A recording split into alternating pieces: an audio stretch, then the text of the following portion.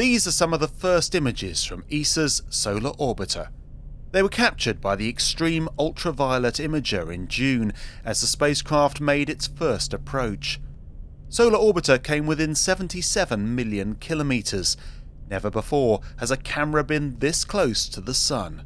Solar Orbiter's first close approach to the Sun has enabled us to, for the first time, operate all 10 instruments on board together.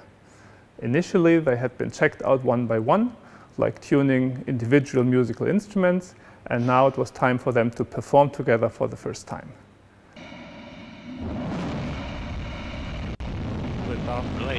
Solar Orbiter was launched on the 10th of February this year, but the process of checking out the 10 instruments and a total of 27 telescopes and sensors on board has been hampered by the COVID 19 pandemic.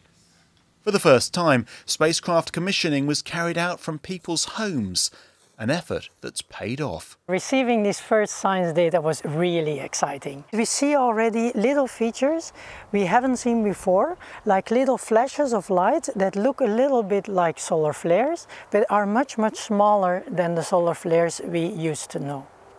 The scientists refer to these flashes as campfires. They could be part of the process that heats the outer layer of the Sun's atmosphere, the corona. And although the mission's at an early stage and the instruments aren't fully calibrated, these results provide a tantalizing glimpse of the discoveries to come. This first data allows us to tune the software on board, to calibrate the images even better, so that we can get ready for the real science phase and for even closer approaches to the Sun. Solar Orbiter has a long journey ahead of it. During this cruise phase of the mission, the spacecraft will study the solar wind, the stream of charged particles the Sun emits, producing more useful science.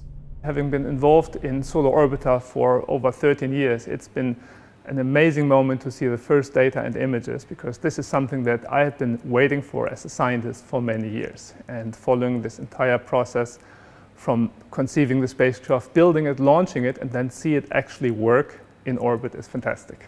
And this is only the beginning. Just a few months after launch, Solar Orbiter is already giving us a new understanding of our neighbourhood star and its influence on the Earth.